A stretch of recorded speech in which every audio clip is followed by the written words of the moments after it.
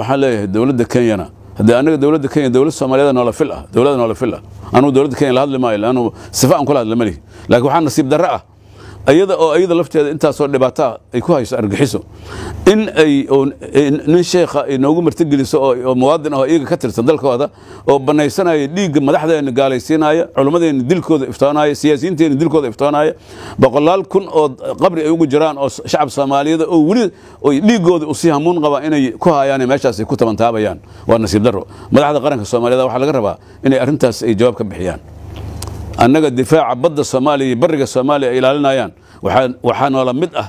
haddaysan kaba muhiimsanayn inay dhiigga ummadda soomaaliyeed iyo xurmada dadka soomaaliyeed iyo sharafkooda iyo amnigooda inay ilaaliyaan.